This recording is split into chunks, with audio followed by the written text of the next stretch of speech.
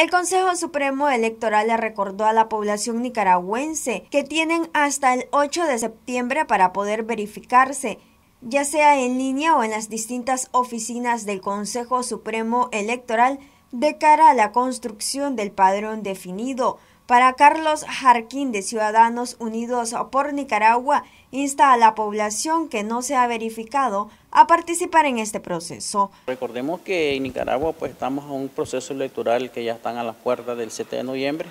donde hay un calendario electoral que tiene que cumplirse los partidos políticos específicamente y la ciudadanía, pues digamos, en las cuestiones de la cedulación y la verificación, que recordemos que ya fueron dos días de verificación, pero todavía están las oficinas abiertas del Consejo Supremo Electoral para que todos los ciudadanos que no se pueden verificar por X y motivo en esos días también pueden hacerlo a través de línea o presencial, porque es parte de la, de la participación ciudadana que tenemos los nicaragüenses en nuestra constitución política de que todos los ciudadanos pues, tenemos que tener nuestra cédula de identidad, lo que ya cumplen 16 años eh, cumplidos en adelante, para que haga también su trámite de cedulación. Así que pues ese es el llamado que le hacemos a la ciudadanía para que se verifique y verifique que está activo en el padrón electoral y que así puede un proceso electoral que se está por iniciar, tengo entendido que es el 25 de septiembre,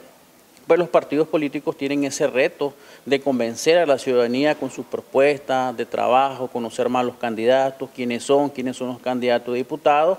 eh, y, la ciudadanía tendrá su última palabra el 7 de noviembre, que por si depositar o no su voto en sus respectivos eh, partidos que tienen ellos además. Harkin agrega que los que se van a verificar que tomen las medidas correspondientes. Recordemos que también estamos bajo una pandemia, que hay que llevar toda la seguridad con su mascarilla, su alcohol gel, el mantener el distanciamiento social. Entonces, eso es, digamos, está transcurriendo, digamos, en las oficinas municipales y departamentales, pues con toda calma, porque recordemos que los nicaragüenses, pues somos amantes de la paz, de la libertad y la democracia, y nosotros, pues, digamos, como ciudadanos, debemos de promover esas instancias para que en Nicaragua eh, busquemos soluciones a los grandes problemas que tenemos los nicaragüenses. Noticias 12, Darlene Telles.